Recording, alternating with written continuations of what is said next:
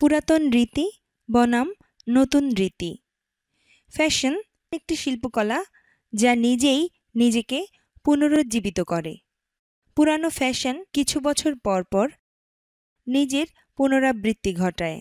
আঠেরো অথবা উনিশ শতাব্দীর যেসব রীতি অনুসরণ করা হতো, তা আবার এখন ফ্যাশন হিসাবে অনুকরণ করা হচ্ছে। শুধু যে একটি পার্থক্য আছে এই এই দুই ফ্যাশন রীতির মধ্যে তা এদের আধুনিকরণ। টেক্সটাইল শিল্পে উৎপাদনের কৌশলগত কয়েক বছরে উন্নীত করা হয়েছে এবং ব্যবহৃত উপকরণ মান উন্নত হয়েছে। বিভিন্ন ধরনের ফ্যাশন তাদের অতীত ফ্যাশনের সাথে তুলনা করা যেতে পারে।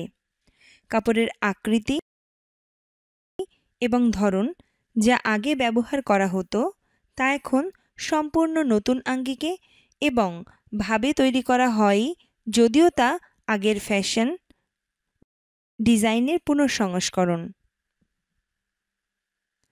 মহিলাদের জামার রীতি।